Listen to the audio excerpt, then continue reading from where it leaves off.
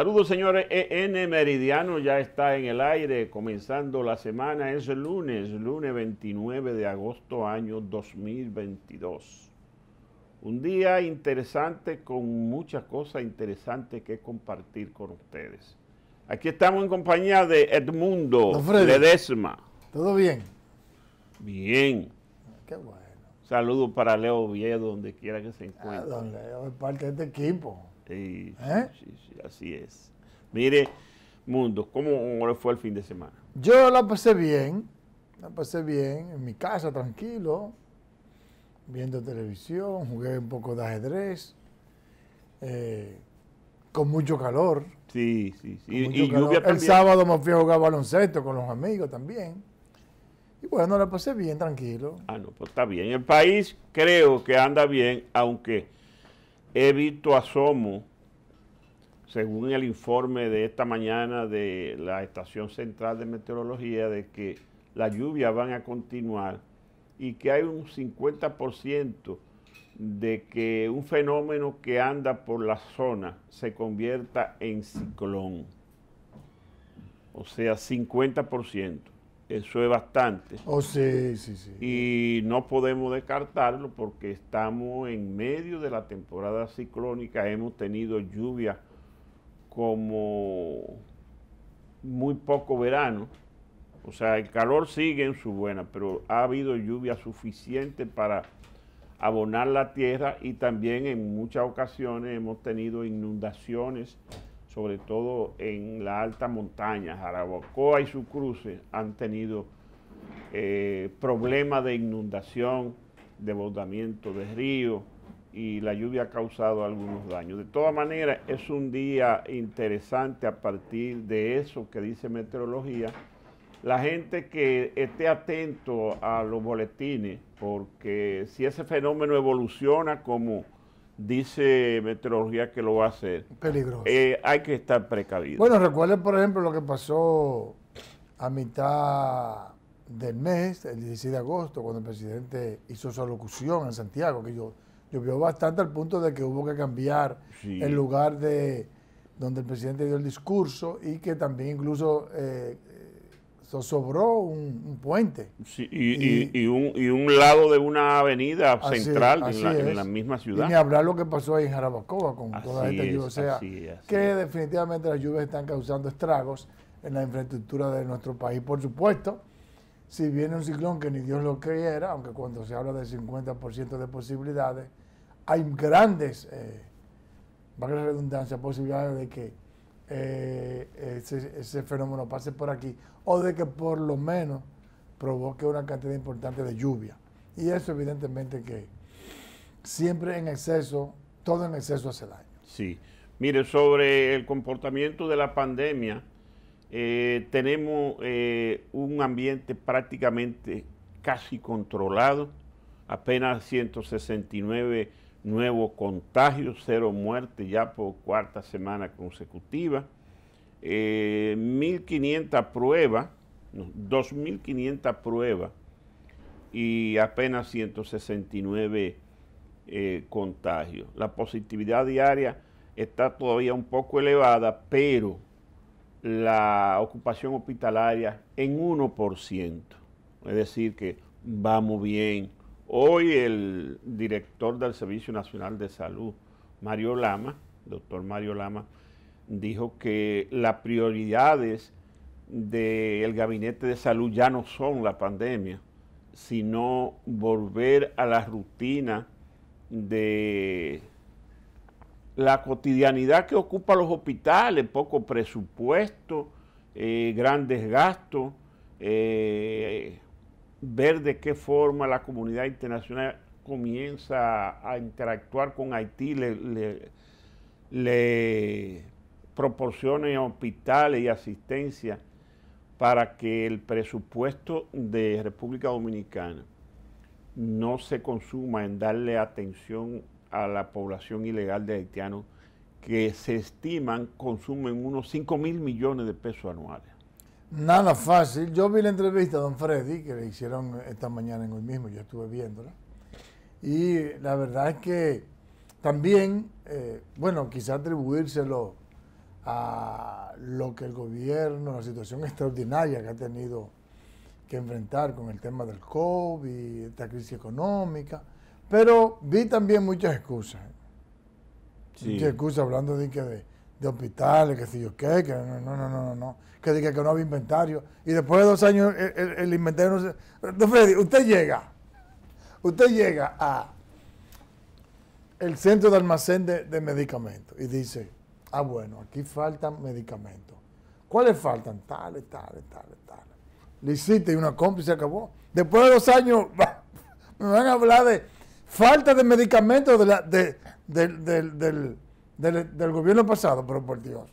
Y lo otro es lo de los hospitales, que hay que reconocer que, bueno, y e incluso eh, hace alrededor de un mes que entrevistamos al doctor Cárdenas, el ex ministro de Salud, y él mismo reconoció que el gobierno pasado se equivocó cuando inició la reparación y construcción y, remozamiento de los hospitales al mismo tiempo, todos. Pero ya han pasado dos años. Y la mayoría de esos hospitales están resueltos todos en más de un 80%. Entonces, termínelo y no hable tanto. Sí, mire, eh, porque realmente uno tiene que convenir, eh, mundo y amable televidente, que ningún país subdesarrollado tiene capacidad económica para hacerle frente con éxito a los problemas de salud. Pero regularmente uno oye los políticos de turno y, ellos siempre buscan excusas. Un gobierno que ya tenga dos años instalado y pudo sobrevivir a una pandemia eh, global, también tiene que darle respuesta a los demás problemas y no buscar excusas. Mire, por ejemplo, es cierto que es un gasto duro para el gobierno dominicano, esos 5 mil millones de pesos que se gastan en servicios de salud para los haitianos.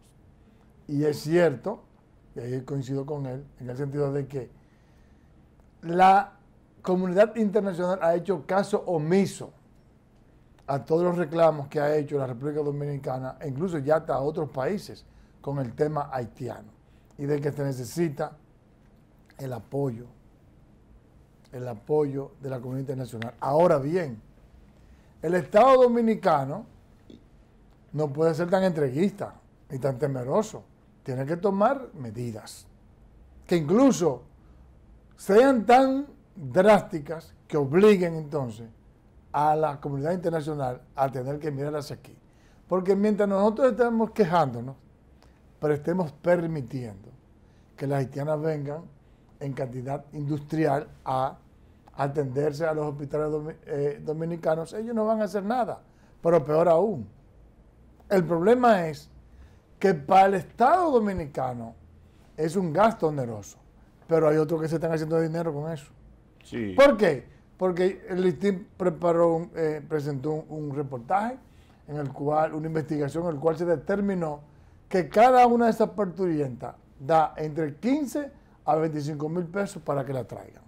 Eso quiere decir que hay toda una red mafiosa que se está haciendo multimillonario con eso de estar trayendo a las parturientas para acá, a que se atiendan en los hospitales. Pero mientras tanto, el Estado gasta dinero y otros con mafia se lo ganan. Entonces, es asunto de tomar medidas definitivas, drásticas, soberanas, para evitar que siga ese trasiego ilegal de parturientas haitianas a la República Dominicana y para tumbar esa mafia que está ahí. Porque mientras haya gente que se esté haciendo de dinero y no le pongan coto, seguirán viniendo las haitianas. Así es.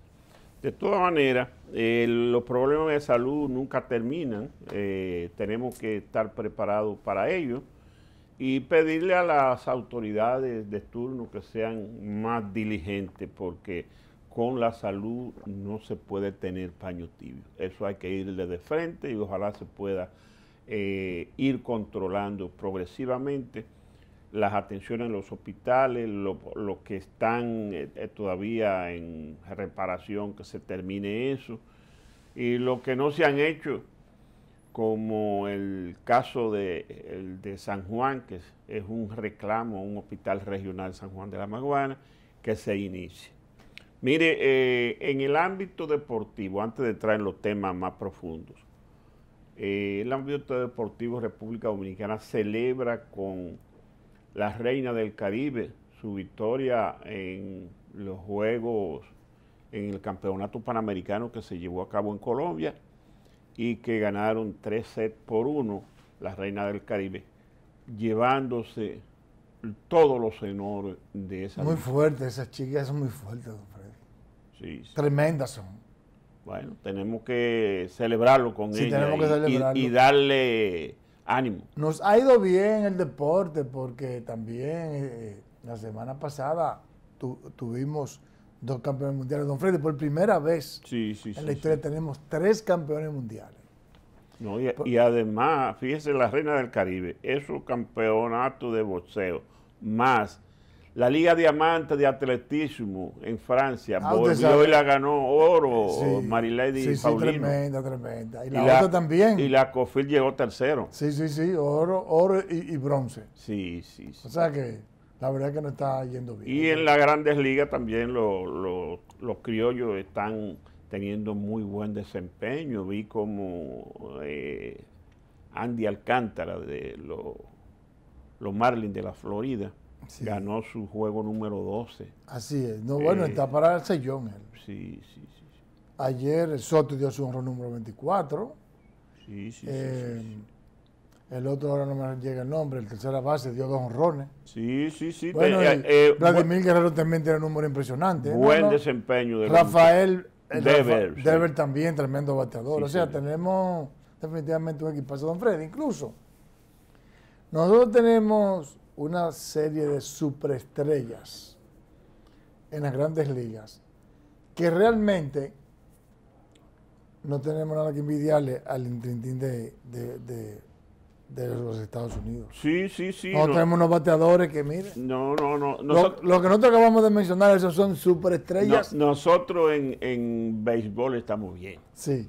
Nosotros quizás en esa serie mundial que viene por ahí, la serie mundial del béisbol, Estados Unidos se dice que va a llevar a sus grandes estrellas. Sí, nosotros también. Y nosotros también. Pero ellos en consecuencia deben de ser los favoritos porque en lo que sí ellos nos llevan, que es la ventaja, es el picheo.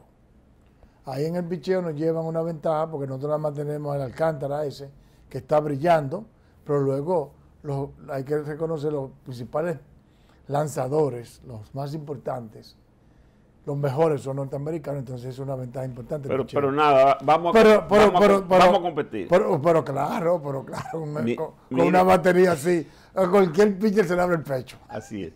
Mire, eh, mundo, amable televidentes, el presidente Luis Abinader hizo su recorrido por el sur durante el fin de semana, estuvo en San Cristóbal, Asua, y sigue en San Juan. Llegó a San Juan ayer domingo temprano, hizo su reunión con los sectores del área de la producción agrícola. Hay el Plan San Juan, que es la diversificación de la producción agrícola del Valle de San Juan, un esfuerzo para lo cual el gobierno está aportando casi 800 millones de pesos a los fines de impulsar la producción agrícola del Valle de San Juan. El presidente eh, que se quedó y amaneció en San Juan hoy tiene una agenda eh, muy diversificada también, va a entregar algunas obras, tiene reuniones, pero lo más importante es lo que dijo el presidente ayer en la reunión con los productores agrícolas, donde anunció que la deuda que tienen ellos con la banca comercial, con el banco agrícola y hasta con los usureros eh, ordinarios de la zona, que la van a saldar para, para que los productores agrícolas tengan mayor facilidad de manejarse con los nuevos cultivos y con las nuevas cosechas.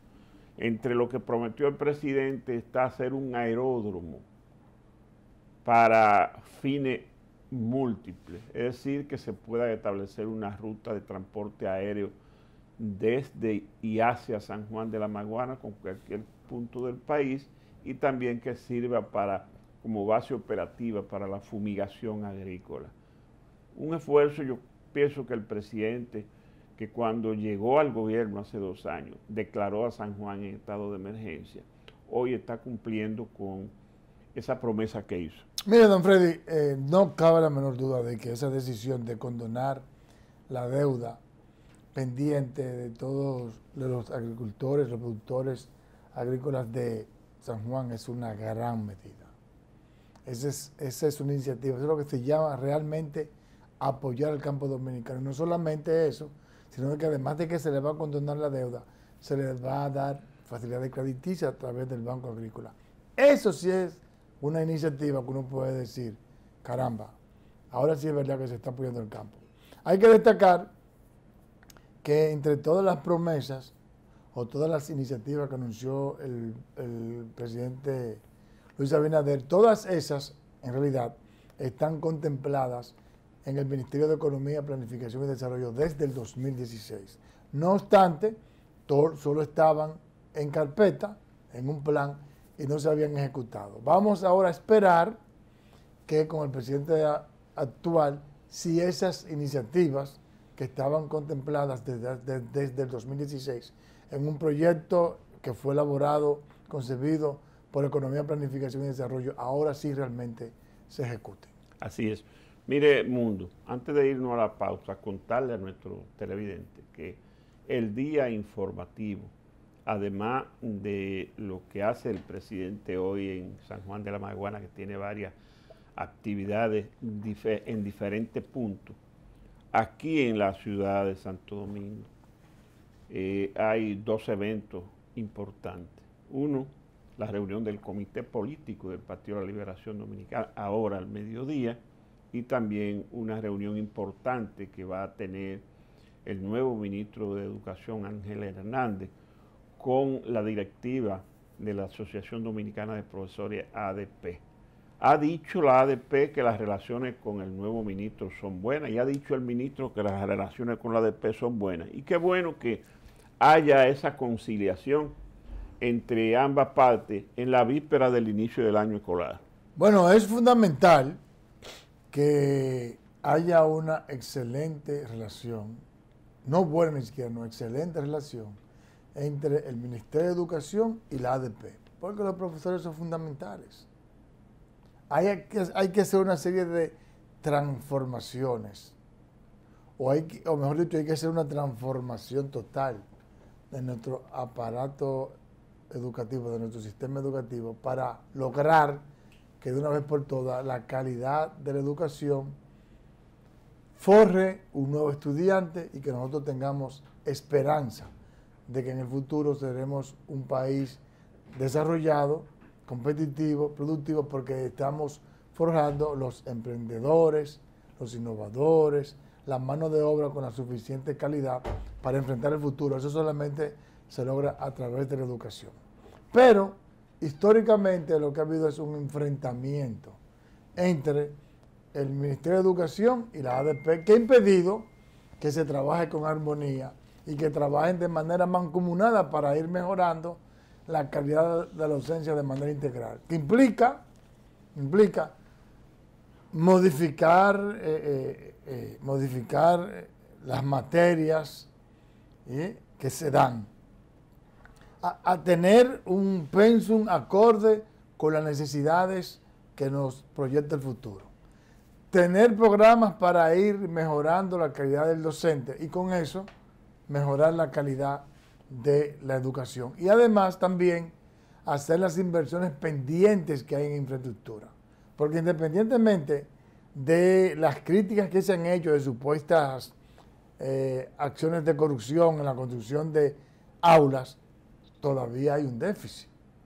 Todavía hay un déficit que hay que cerrar. Y además, no solamente un déficit de aulas, sino que se deben de construir escuelas con las características adecuadas para dar una educación de vanguardia, una, educación de futuro que debe tener que, debe ser más o menos una especie de politécnico. Sí, así es. Para que se pueda dar eh, no solamente la educación tradicional, sino que se pueda impartir eh, arte, carreras técnicas, tecnología, deporte, cultura, etcétera, etcétera. Una educación integral como la que se merecen nuestros niños y que hace tiempo tenemos ese pasivo, esa deuda social que hay que empezar a acreditar. Señores, la pausa, los comerciales, regresamos.